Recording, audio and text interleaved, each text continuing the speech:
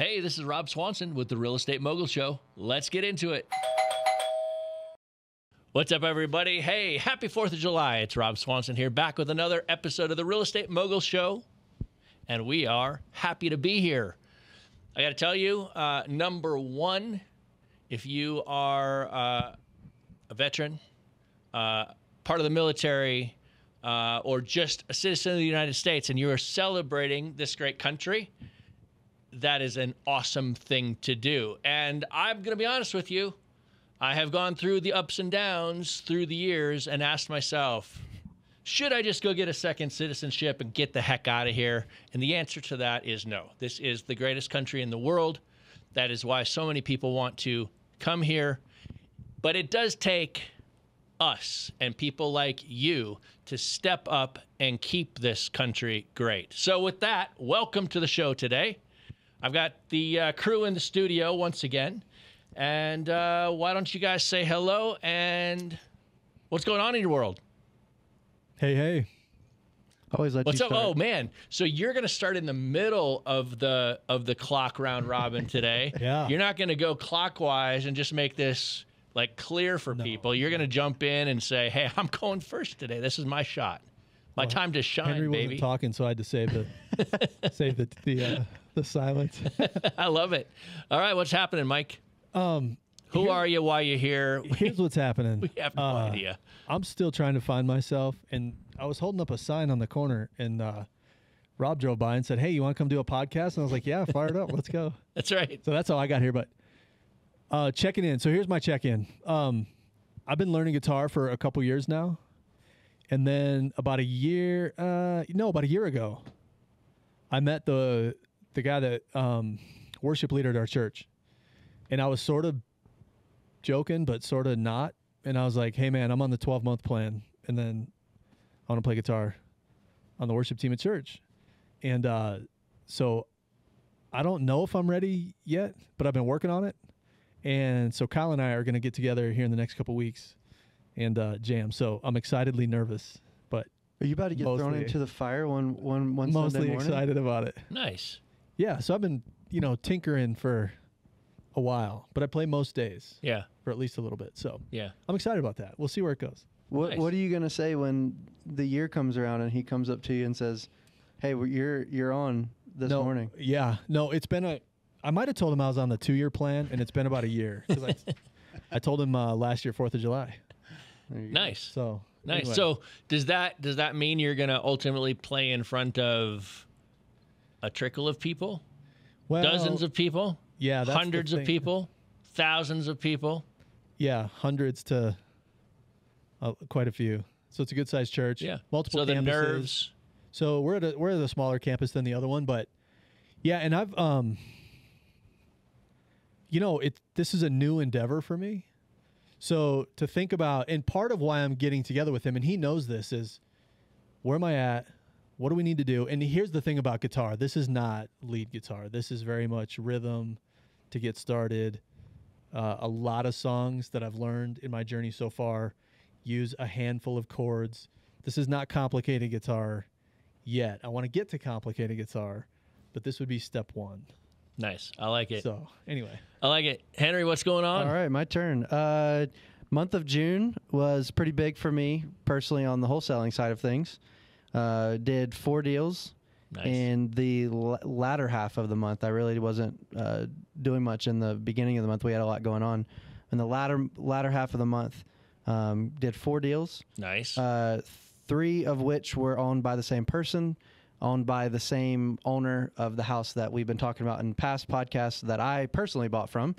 Um, was actually not in the market at the time to buy his other three, so ended up still helping him out. He was still looking to offload a lot of his property, so we uh, we did three of his and then one other one um, in Love the it. month of June. So Which I, I want to because if I don't point it out, people are going to miss what you just said. And what you just said was one seller who you had helped out previously and made money on came back to you with three more deals. Yep. So you had a four deal month.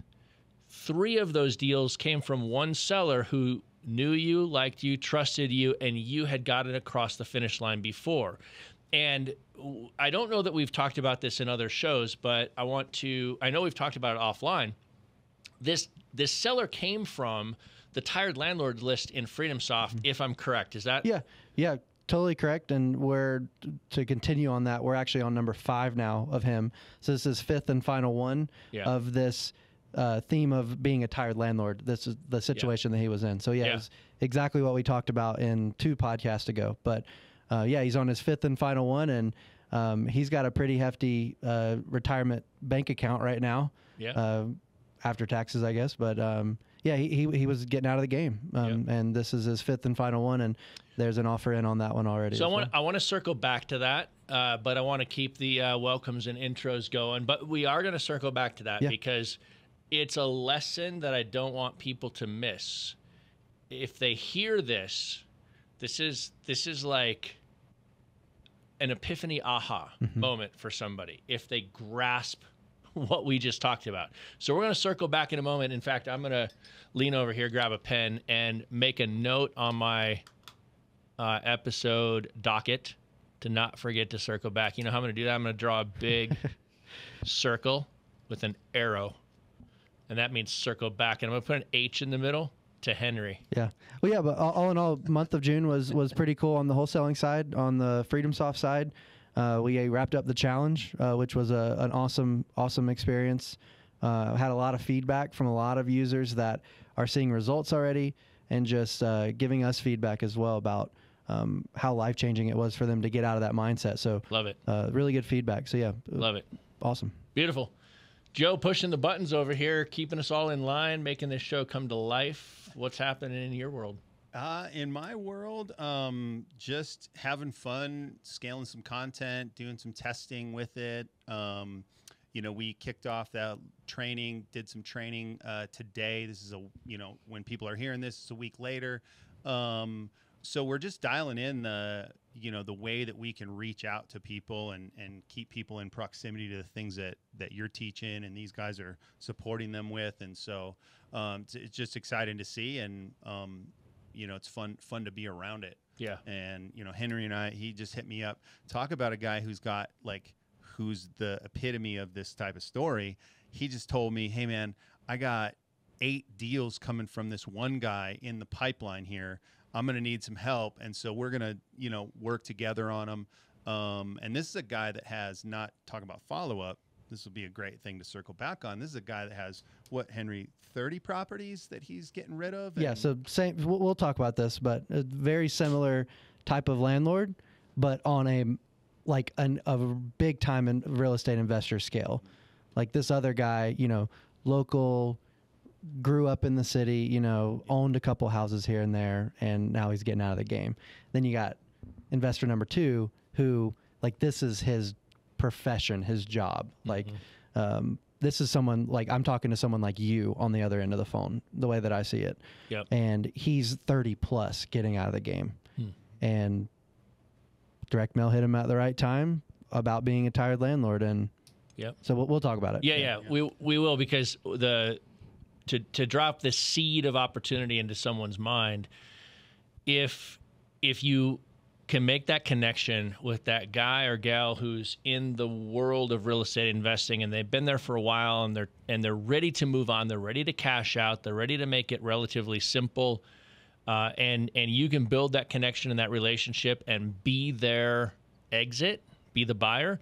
You've got yourself a year to two years of deal flow baked in in, in one lead, and people miss that opportunity. They're always looking for you know one one piece of marketing, one lead, one piece of marketing, one lead, and what they should understand is one piece of marketing can create months or years worth of leads if you treat that right.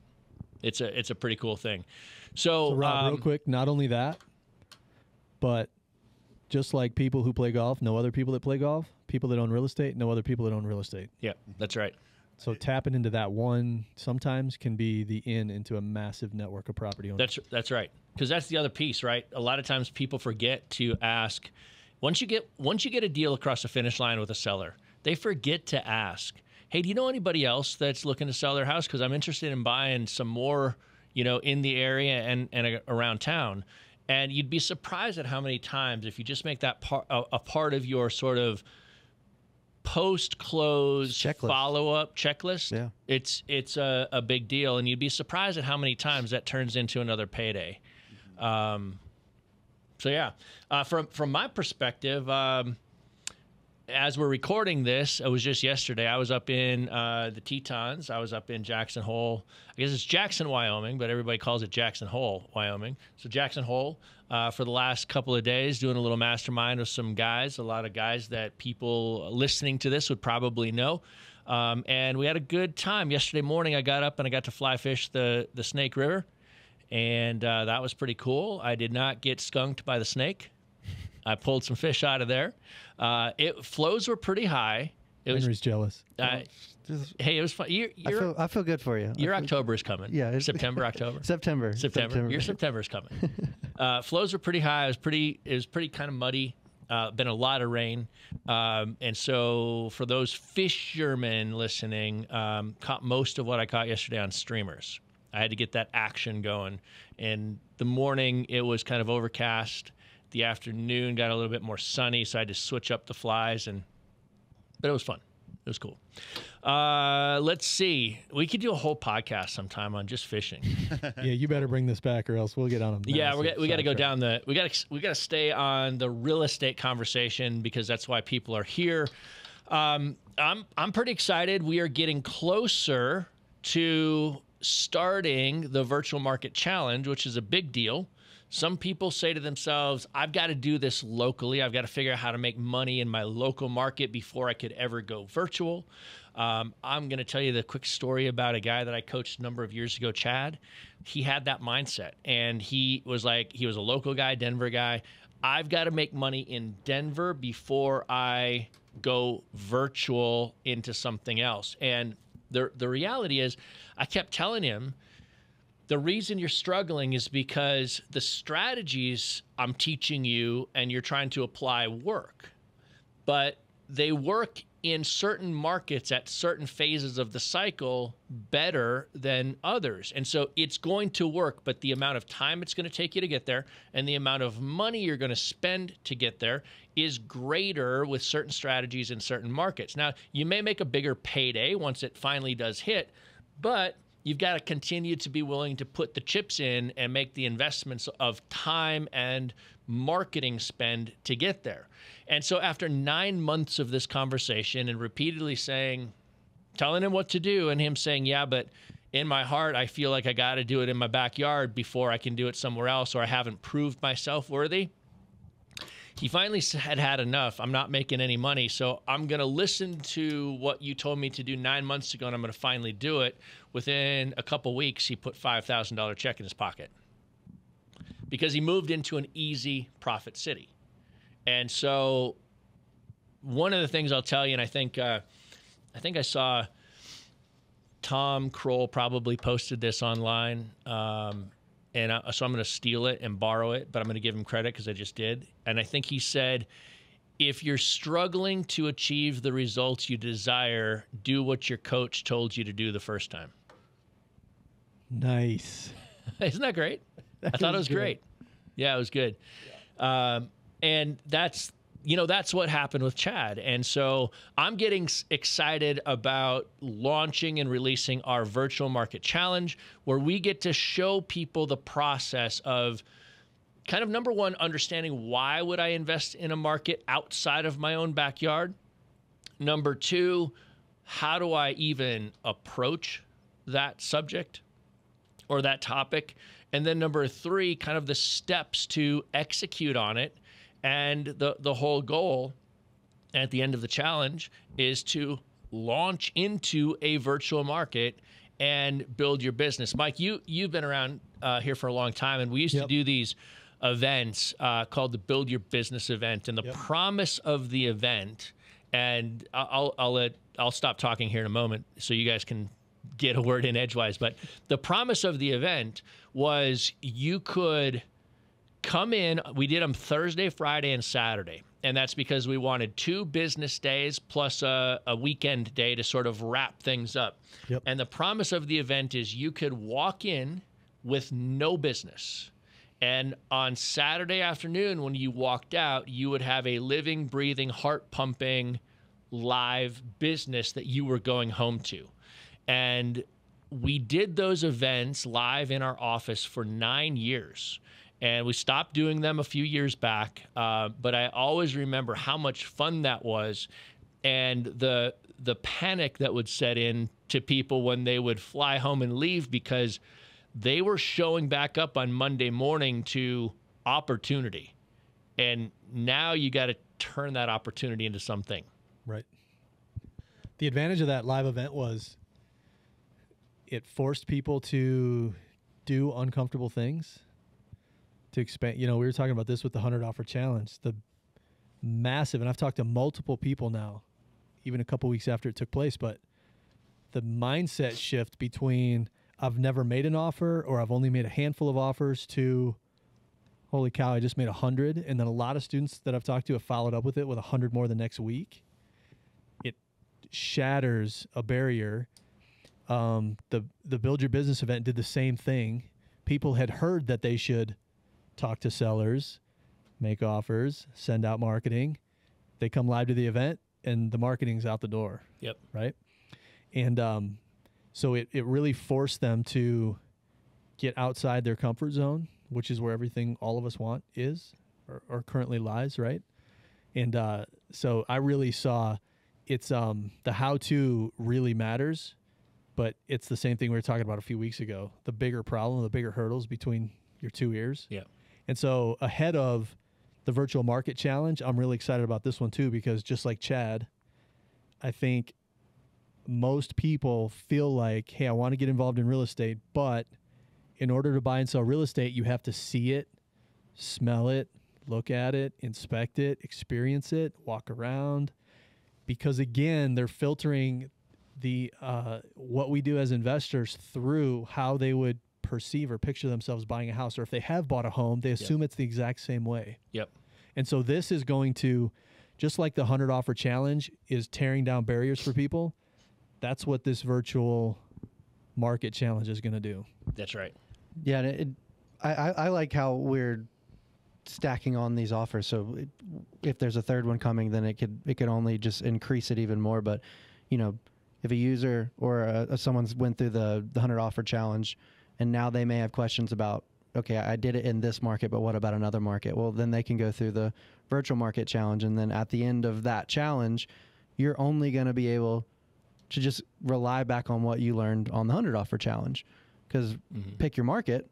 Now what? Well, Yep. go make offers in that market. So they're going to stack on top of each other Totally. really, really nicely. And I'm excited about that. Yeah, hundred percent. And um, so I'm gonna I'm gonna say two things. Back to the point that Mike was making, right? The the biggest challenge that people have is the six inches of gray matter between their ears, and that is because in FreedomSoft we have made it so easy to build a list. We have made it so easy to do marketing. We've made it so easy to analyze a deal. We've made it so easy to make offers. We've made it so easy to capture inbound replies to the marketing and to the offers. We've made it so easy to automate the follow up. We've made it so easy to process deal flow.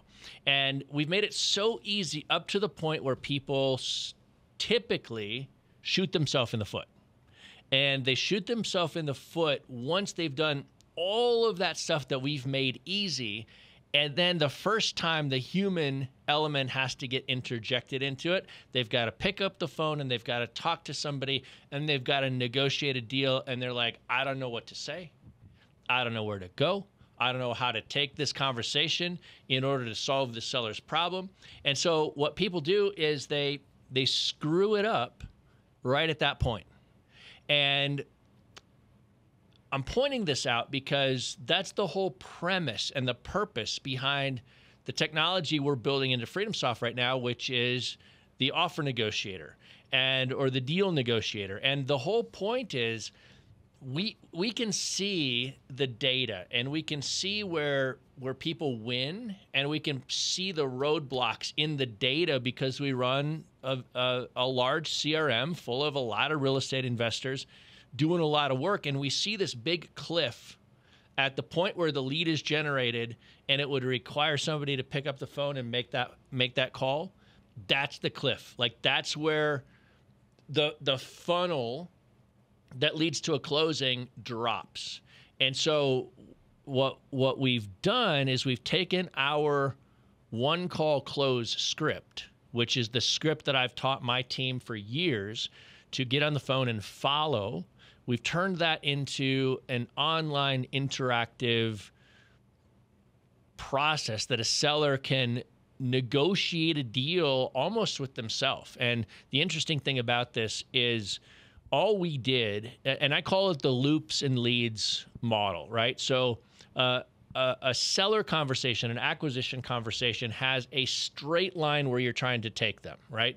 So you start at the very beginning of the conversation, and if the conversation flowed perfectly forward to exactly where you want it to be, where you're able to help that seller put a property under contract, they accept your offer. There's a straight line that's perfect to get there. The problem is, you know what that script is, but the seller doesn't. So when you say something and the seller responds in a different way, they loop you or they d- direct you back uh, or off track, off of that straight line. They direct you somewhere else.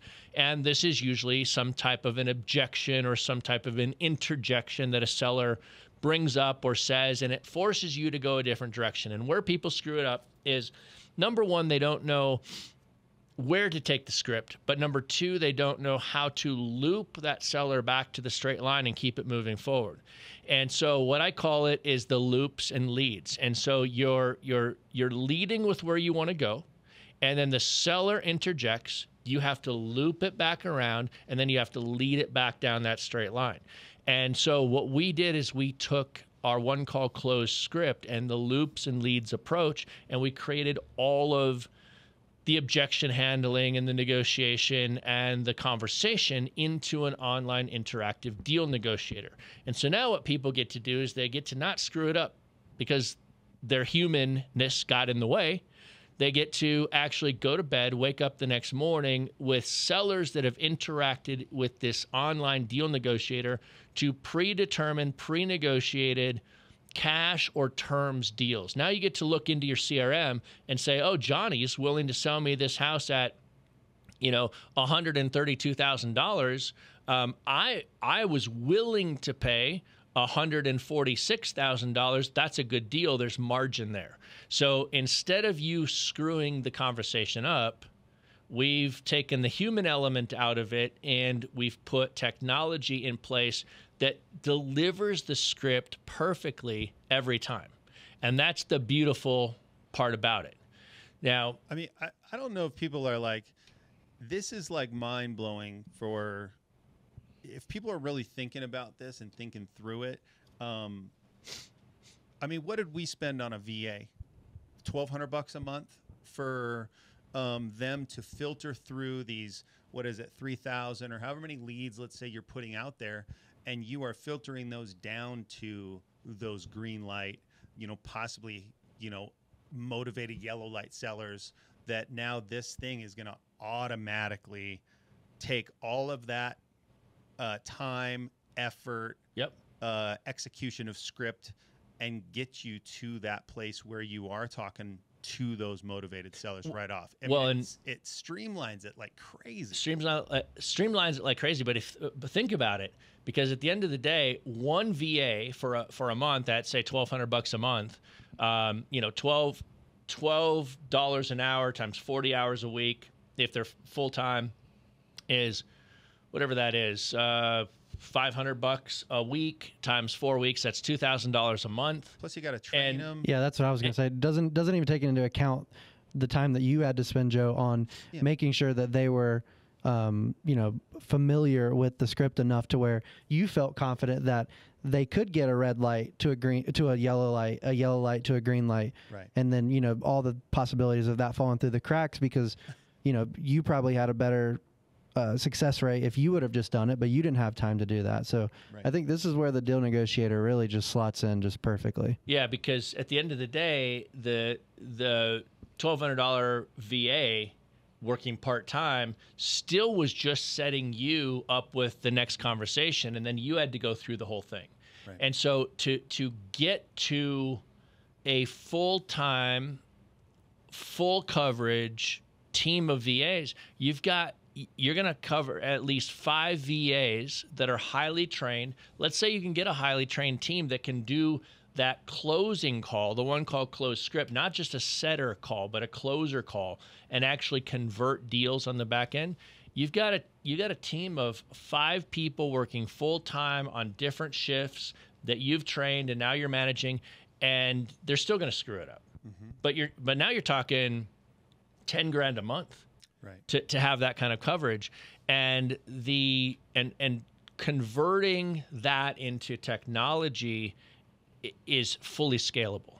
And that's the beautiful part about it. It becomes truly truly scalable.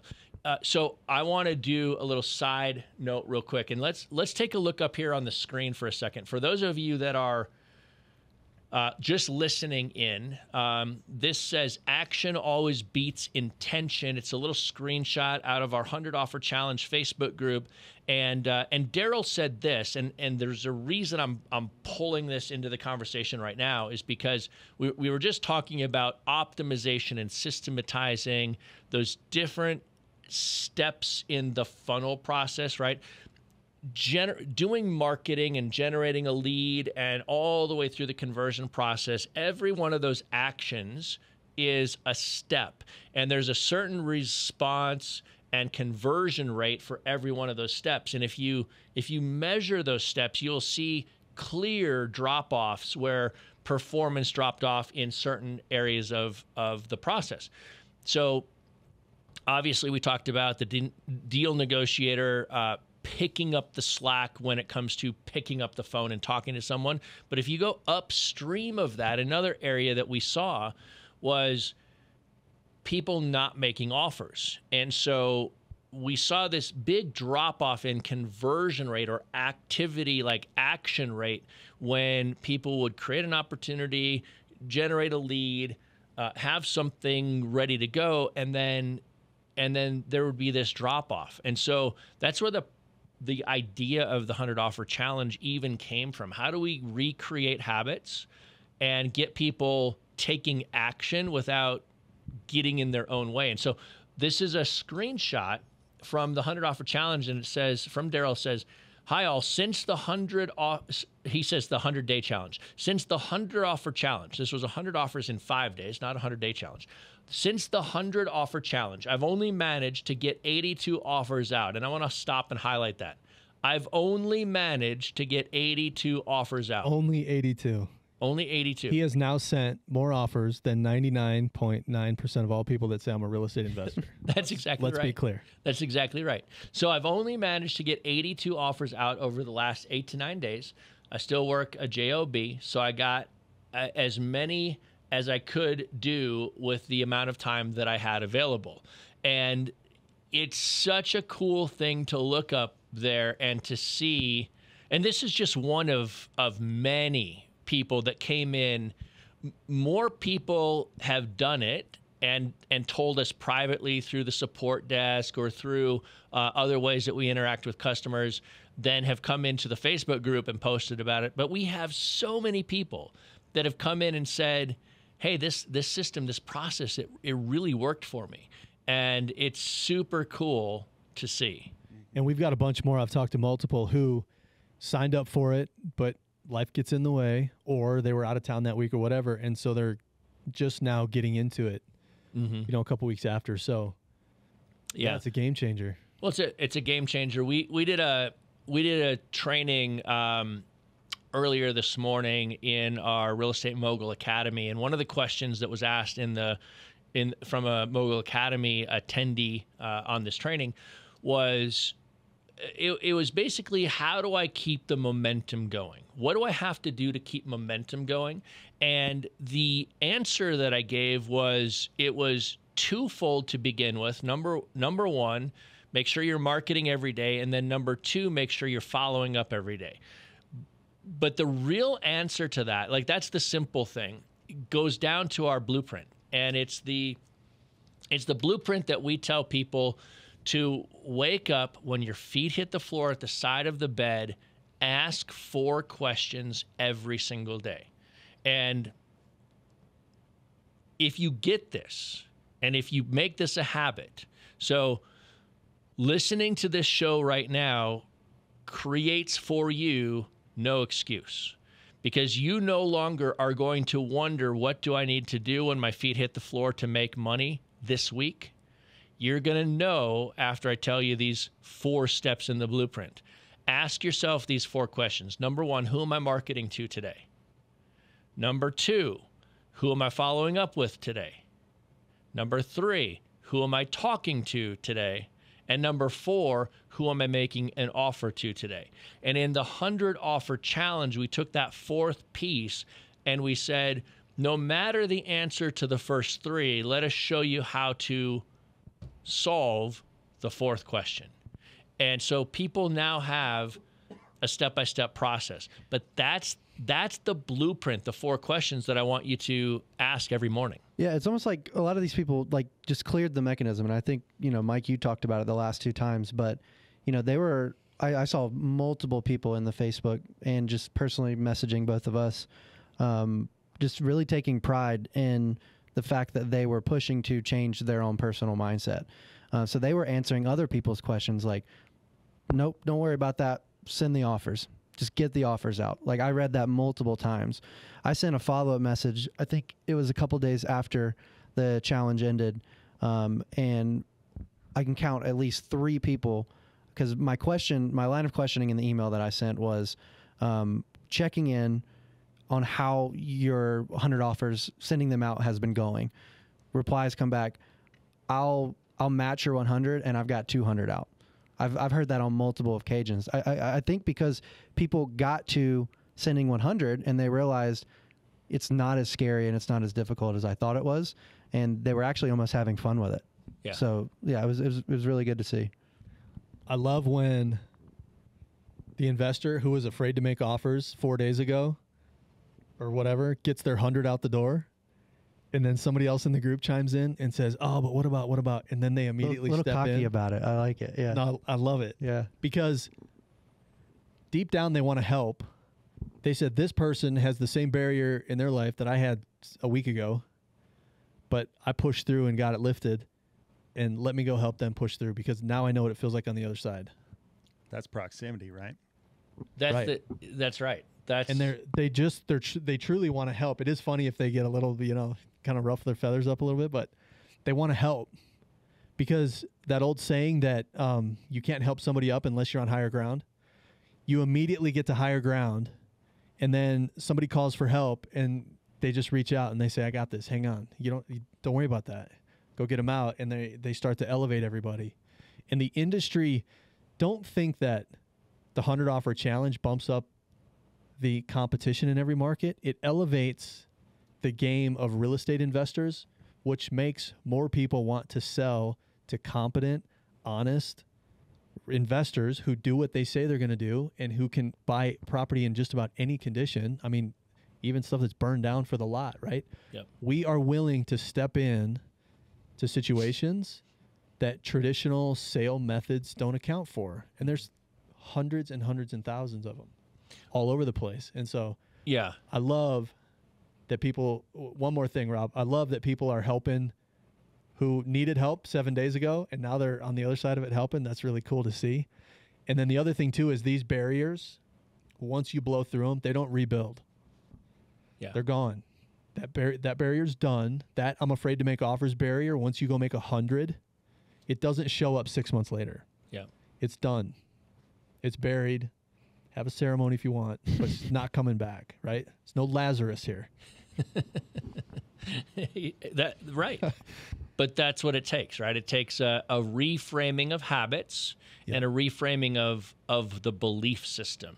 And you know, on a on a past episode, a past show, um, I did a whole conversation about the belief system. We we have a statement of beliefs that that we uh, function around, and that statement of beliefs um, talks about towards the end that we believe people can succeed when they get around people that are doing the things that they want to do. Whether that person has achieved it yet or whether that person is on the journey, the simple fact that humans are social creatures and when you're around like-minded people that are on a similar journey some further ahead some at the same spot and some further behind but all moving towards the same place all willing to step over the speed bump jump over the hurdle break through the brick wall all willing to do what it takes to achieve the goal people win in a bigger way and what's interesting is sometimes the the people are mo- are more motivated by pain than they are motivated by pleasure. And sometimes it has to get bad in order to get motivated to do something different, rock the boat and shake something up in order to achieve the pleasure. What if what if somebody said, "You know what? I'm going to pursue the pleasure before the pain becomes so bad. I'm going to do the work, do the hard work. I'm going to put in the effort. I'm going to develop the skill so that I can achieve the result before it got bad. Because we see that all the time, right? Somebody gets into a, between a rock and a hard place, or things get so bad and they're like, and you know, that doesn't mean they're destitute. It doesn't mean they're going bankrupt, but they get so frustrated with something in their life that they need to step in and make a change. What if you stepped in and made that change because you were so committed to pursuing the life you want to live? And um, and we're so committed to that, right? My my wife and I have always lived by the the mantra of uh, life by design and we have a we have a little slogan that is sort of our marriage uh, slogan, and it's simple with flair. And so the reason we have this is because we don't need a complicated life. We don't need a we don't need a uh, you know a, a fancy snooty life or or anything like that. But we we want the things in life that bring us joy, right? And so I, I talked at the beginning of this about flying our airplane up to Jackson Hole, Wyoming, and going fly fishing, and then leaving that afternoon, two and a half hours later, flying home and being back in Denver and eating dinner at our dinner table that evening. That's that's a lifestyle thing that is intentionally designed into everything that we do, and it and it forced me to say I'm going to put in the effort at a sufficient level of skill to achieve the result that I want so that I can do anything in life or business that I desire. And so our, our, our marriage slogan is simple with flair. We love the simple things in life. We love to keep it simple. We love to connect with family. We love to connect with friends. We love to cook amazing food. We love to, to serve people food at our house. We love to travel with moments of massive flair. We love massive flair that comes in and, and somebody looks at the flair and says, wow, they have such an amazing life. And it's because we combine the two things that we really enjoy life. But that was all life by design. And real estate investing is a huge piece. It is the thing that got me to life by design and being able to do the things I wanted to do, which is really fun. How was the flight back, by the way? Bumpy or smooth? Uh, it was a little bumpy, Yeah. uh, light light chop because we we did have to go a little south and then cut back a little north to avoid two uh, areas of light to moderate and then extreme precipitation in this one area. And under that cloud layer, we were we were up pretty high. We were at like uh, thirteen thousand five hundred feet. Okay. But the clouds were like at fifteen thousand feet, and they extended up uh, even higher. So I could have filed an IFR flight plan and gone up through the clouds and got up on top. Yep. Um, I chose not to. Um, just because it wasn't that long of a flight, two and a half hours, Yeah. and um, we just we just stayed low. I was asking because I was in Jackson Hole a month ago Yep. for my um our family went. My mom and dad celebrated their 50th wedding anniversary, but Southern Wyoming is windy, Mm-hmm. and from what I gather, it's a windy a lot. So I was curious if you guys were getting tossed. No, uh, we just got light chop, and it was mostly be due to the the convective activity in the in the weather system. Got The the winds weren't that bad. Um, if if anything, it was kind of nice. On Monday, we got up early and flew up there uh, because the event, the the mastermind that I was attending, started at nine in the morning, and so we wanted to get there before it started. So we left at like four in the morning so we could get there, get our car, get settled, check into a place, and then get to the event. So we, we did that. Um, so going up there, it was nice. We got a east to west tailwind, which is not very common. Usually when you fly west, you get a headwind Right. and it so and it slows you down. Uh, if, even if you look at commercial flights, if you look at a commercial flight and the amount of time it takes a commercial flight to say go from New York City to Denver versus Denver to New York City, Denver to New York City is always significantly faster than New York City back to Denver. And so I got lucky this week. I had a tailwind going there and I had a tailwind coming mm. back. nice. Yeah, that doesn't happen very often. Was eight, eight bucks in jet fuel too. Yeah, if I put jet fuel in my airplane, I would have a more significant problem. problem. hey, back to the lifestyle thing. That's what everybody. That's why people come to real estate. That's right. It's for something. It's not always the same thing, Exactly. but that's why. You know, no, I mean, even though we get a kick out of stinky houses, um, nobody's ever said, "I want to learn how to do real estate investing because I love stinky houses." That's not it. The opportunity in real estate, they know that it's a high paid commodity, right? You're not selling t-shirts. High paid commodity so that fill in the blank. Yep. So, That's right. and I was just looking, Rob. You're sitting right in front of the mogul sign. Mogul's a mindset. I Yep. think, especially newer investors think mogul's a how-to. I just got to learn it. That's that's a small piece of it, right? Being able to do what or have real estate do what you want it to is all upstairs in your head Mm-hmm. which is why I'm I, I love that we're coming off the 100 offer challenge. I love that we're going into the remote market challenge. If you blow up the barrier to offers and if you blow up the barrier to remote market, this entire country is your playground. Yep. In 2 weeks offer challenge, 5 days. This next one's going to be 5 days. Yep. I'm assuming. I haven't heard you tell me that yet, but that's my assumption. In 2 weeks, you mean I can blow up all these right these two barriers that have been severely holding me back? People are crazy to not get involved, Totally agree. or they just don't want to do real estate.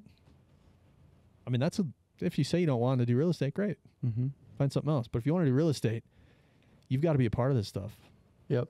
Yeah, I think it, it also goes kind of goes back for me personally, Rob, when you were when we did the the in house training, and uh, you asked for the people that actually were interested, and you you always ask why, right? And you ask me that question, and it really does get you thinking about why you would want to dive into something like that. Yep. Um, and my my why uh, at the time, you know, I wasn't married yet. I was about to get married, and I have all these aspirations, kind of like what you and um, your wife's uh, kind of mantra is. Um, and I, I've been recently hearing a lot about uh, in in the make money space, at least, um, the abundance mindset. Uh, wh- which I think is a, a really good concept and a really good mindset to have, but um, I really like the way that we put it here in house. Is that real estate opens up uh, the opportunity to live the life that you specifically want to live. And some people may not want to live super lavishly and abundantly. They just want to live that simple life and uh, do it in the exact manner that they want to do it in. And I think that aligns with me a little bit more. And I think that's why I got hooked on real estate so so fast is because it, it is a uh, it is a good route to accomplish that goal um, for me personally. Yeah. Yep, totally. A- and it it's a it's a good route because it can be one of those things that you, you know you don't you don't have to start a business. You don't have to start a service. You don't have to start a thing. For like in your situation, you can utilize the the job at FreedomSoft and the income earned at FreedomSoft and the knowledge and the connections at FreedomSoft to build your wealth. And real estate, the assets of real estate is is one of those things that and any any person can utilize. And you know, not everybody. And I'm not saying that you couldn't, but I'm saying not everybody can go start a business. Not everybody wants to take on that process. But anybody that has the desire can go buy a house because now the house is doing the work, mm-hmm. right? The house has created the value and it sells itself. I have a roof, I have a toilet, I have a sink, right? I have carpet, my walls are white. They're freshly painted. My, my the windows in my living room are clear. I can see outside. The house sells itself, and that and that value creates an income stream. And if you when you own that asset, you're the recipient and the beneficiary of that income stream. It's a beautiful thing. It's something that anybody can do. Totally agree. Anybody. What does a typical franchise cost to launch these days? Oh, it depends, but you, you can get stuff anywhere Quarter of a million to yeah. And I was going to say anywhere from a, a franchise that's truly proven and truly like long. right, like, not has the one that started yesterday. Yeah, not the not the brand new one that you could buy for eight grand yesterday, but a truly established franchise with a proven model where operators stay in it for the long term and they renew their licenses and they buy new territories. You're talking to six figures. It's a hundred grand.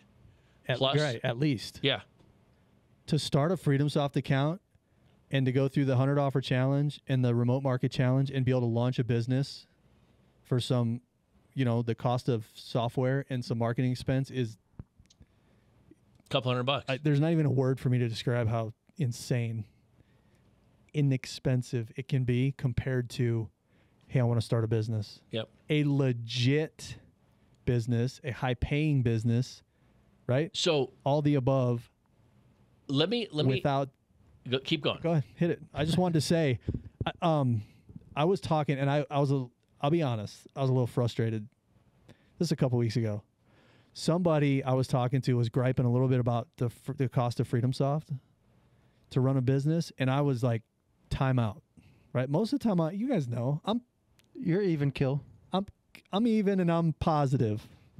I, I'd had it. I was like, time out.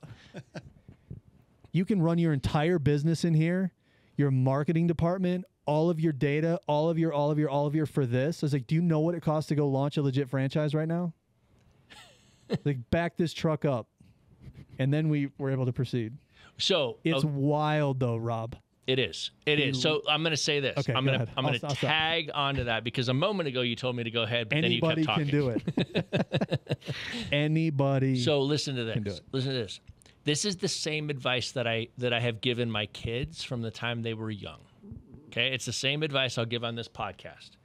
If two hundred dollars a month for a FreedomSoft account is too expensive, then you need to stop. You need to slow down, and you need to ask yourself, where can I go earn a little bit more money to invest in something that can make me a lot of money. And uh, here's what I here's what I taught my kids. Go mow lawns. Okay, at 50 bucks a pop for 45 minutes to mow a lawn, you just made 60 some bucks an hour. 60 bucks an hour times 2080 hours in a year is 120 grand a year. So mow lawns. You don't you don't have to mow full time and make 120 grand a year, but if you can earn 60 bucks an hour mowing a couple of neighborhood little lots that take 45 minutes and you can earn that kind of money and and $197 a month for the subscription is too much, then go figure out how to make that extra money at a higher margin, at a higher rate, right? Uh, my son, when he was 15, started a window washing business. Why? Because he was able to disconnect the hours he worked from the value he provided. And it wasn't, I'm going to mow your lawn for 12 bucks an hour. I'm going to mow your lawn for 15 bucks an hour. It was, I'm going to mow your lawn for $65 and it's going to take me 45 minutes to do. Now you got an 85 to $90 an hour gig. So disconnect your hours from your value. M- washing windows is, oh, you've got 13 windows in this uh, commercial building. I'll wash the outside for X dollars. You know how long it's going to take. But the value of having clean windows, the uh, one of the one of the marketing pieces that we put together for Killer Views window washing was uh, delivering happiness because when your team sits inside of your office and looks out the glass through crystal clear beautiful windows and can see the mountain range and the Colorado Front Range that makes you happy it makes you happy to come into work which by the way I think our windows need to be washed I don't was just gonna say. Speaking of, it's why been does a, it look like it's 8:30 at night outside right now? because it's one's raining tent- all the that time one's tinted. That one's tinted. Yeah, because but it's raining all the That's time true. too. Like it's it's been a, we need to get the cadence of window washing up around here to deliver a little bit more happiness. but my point my point is figure out how to increase your income, right? That, that at the end of the day, that's what I'm trying to say is increase your income and and then t- and then use that to invest in something that can explode your income. And you have more two-step. control of it in general across the board. Somebody right. somebody may frequently be putting two hundred dollars into some stock that they read an article about, Right. but you don't really have actually any control over that whatsoever. None. Um, but for some reason, people are okay with doing with that instead of taking control over that two hundred dollars and investing in something that you know is a little bit more yours. Hundred percent, hundred percent. All right, guys. I think it's time to move to the last segment of the show as we start to wrap up, and this is the mogul memes section. I have no idea what we're gonna hit in this section this week, but as I see on the screen, this is the segment that has investors laughing, and I, I don't know if they're laughing You because the these? memes are funny, or if they're laughing at us Think- trying to be funny, We don't Thinking care. We don't care either. way. and we don't care really either way. we don't care. the the ones that I made, I was doing it over lunch, and I was making them on my phone, and like it was so funny because normally I would like you know scroll through and like, maybe text somebody or be on like an app or something. Well, I was on the meme creator, but it's like I was having so much fun doing that. I, I looked like an idiot sitting there at that table laughing at myself By at the memes that I was making. Oh, I can only imagine then. Okay, so let's uh, let's dive in. What do we got here?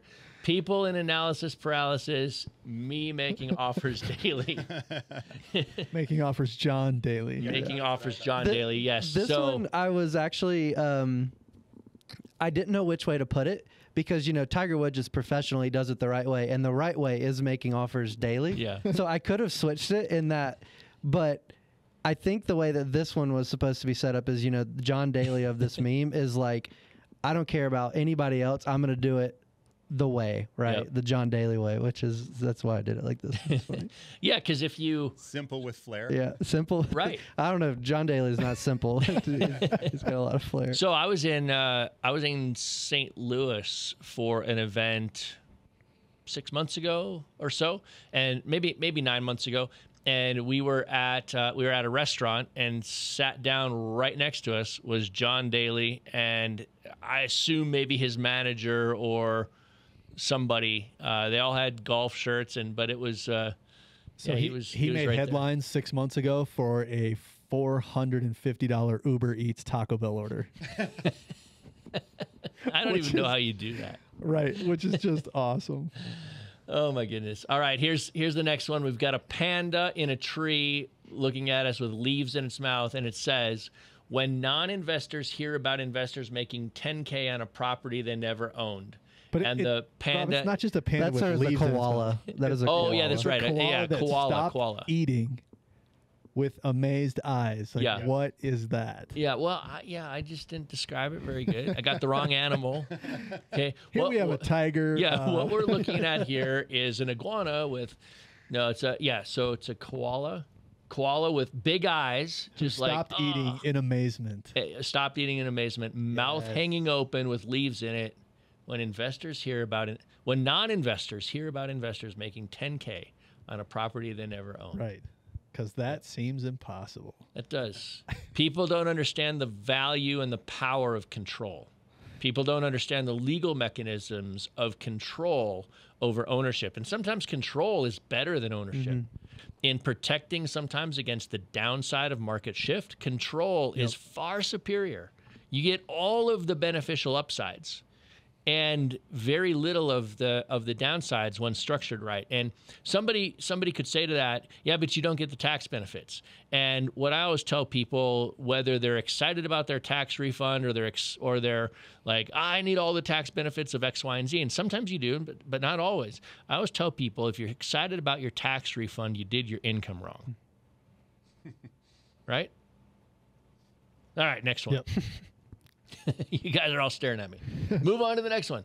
All right, we got uh, SpongeBob standing up here. Now, isn't SpongeBob here under the water? It is. I don't understand. Okay. that. yeah. Yeah, okay. So uh, we've got four squares on the screen for those of you that don't see it. Upper left says wholesaling is dead on a big piece of paper. Upper right, it's SpongeBob reading that sign.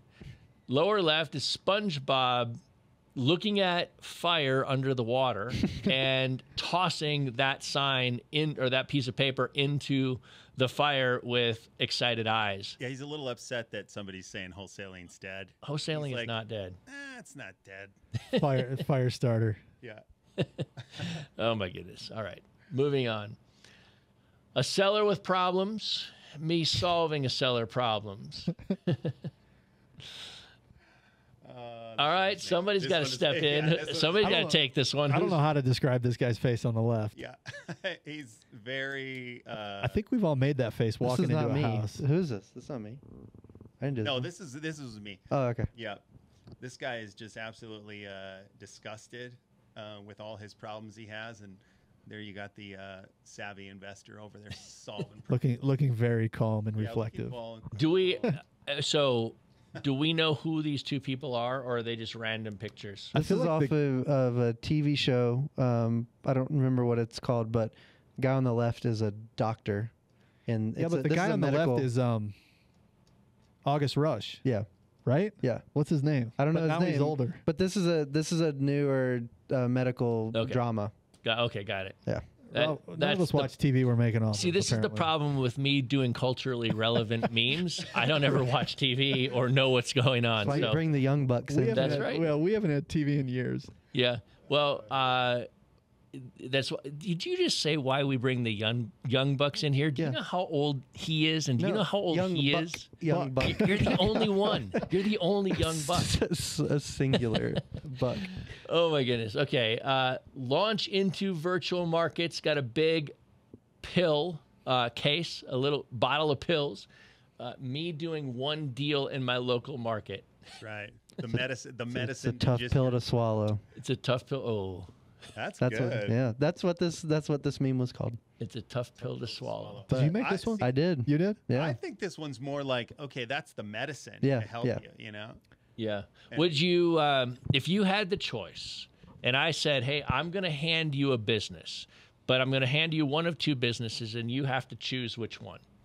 Would you rather sell aspirin or vitamins?